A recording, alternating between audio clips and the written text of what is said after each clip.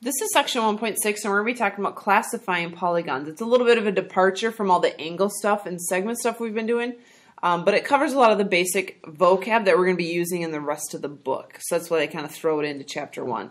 So by the end of this section, you should be able to classify polygons, and that means name them, identify them, talk about them. So the first thing we want to talk about is what a polygon is. It's a closed plane figure. That just means it's not three-dimensional and it has to be closed. So I can't have an open side. I got to close it off. Then it's a polygon. Okay? Um, hold on while I grab something because I forgot something that I wanted to look at. Okay, so when you are talking about a polygon, you want to talk about how it is, um, what I just said, closed plane figure. It's formed by three or more sides. So three plus sides. Um, can't have anything less, less than three, because if you had two, you wouldn't be able to close it off and have it be a shape. Okay, so it's got to be three or more sides. Each side intersects two other sides. Okay, so every side that you have intersects two others.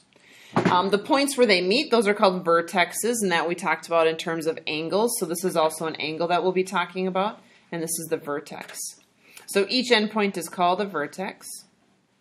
And polygons are named, this is where we're naming, like naming angles and naming segments, by using the vertices in order. So what we're going to do is just throw some letters on here. And Q. It doesn't matter where you start, and it doesn't matter in what direction you go, but you have to go in order. So if you want to start with K, then this would be polygon K, and I'm going to go counterclockwise. So K E D A Q L. You could have decided to go the other way, so you would have had K, L, Q, A, D, E. Doesn't matter where you start, because started with Q, just as long as you go around the circle and you don't skip anybody. What you can't do is go D, Q, E, A, K, L. You can't skip all around, just go straight in a circle. And straight in a circle doesn't even make sense, but you know what I mean. Convex polygons. Convex polygons are, um, sorry, let me start with concave because that's the easy one to explain. Concave polygons kind of have a cave to them. They have a dent or a cave into the shape. And that's what makes them concave. That's the easier one for kids to get. Convex just means everything is pushed out. That's the easiest way I have to explain it.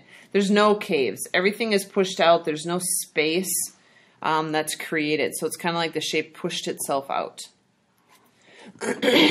There's a bunch of different polygons that we have. And I think you know most of these names. If it has three sides, it's called a triangle.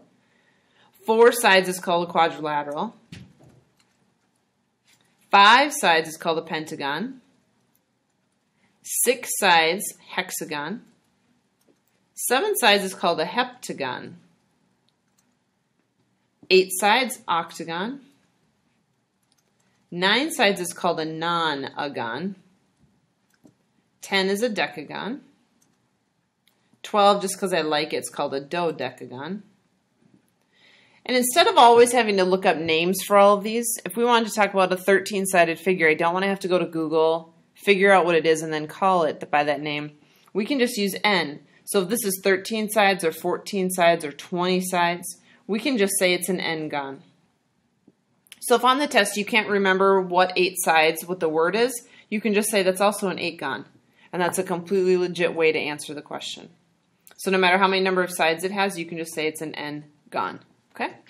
A couple more terms that we're going to be using quite a bit in this book. One is equilateral. It means that all the sides are equal. I should have put an all there. All equal sides. And the way that you would mark that is by putting tick marks. So you would show me that all of the sides are equal. Equiangular means that all angles are equal. And by doing these little arcs, you would be telling everybody that the angles are all the same measure. Regular means it's equilateral and equiangular. Everything is equal. Equal Equilat, E-A-L, and equiangular. So everything's equal. All the sides, all the angles are equal. And then how do you mark this? We already talked about that. So a table is shaped like a regular hexagon, means everything's equal. Find the length of a side. So that means 4x plus 3 has to equal 5x minus 1. Those are equal things. This is a regular shape, which means those two sides are equal. So I solve it and move the 4x over. So 3 equals 1x minus 1. Add the 1 over. So it looks like x is equal to 4. They didn't ask me for what x was, though. They said find the length of a side. So I'm going to take my 4 and I'm going to plug it in. So 5 times 4 is 20 minus 1. 19 is the length of my side. So a lot of the stuff you're going to be doing today is just reading the vocab. You're going to decide if things are equal, if it has equal sides, equal angles, and then you'll be able to set up a problem. Lots of stuff is just going to be equal to each other today.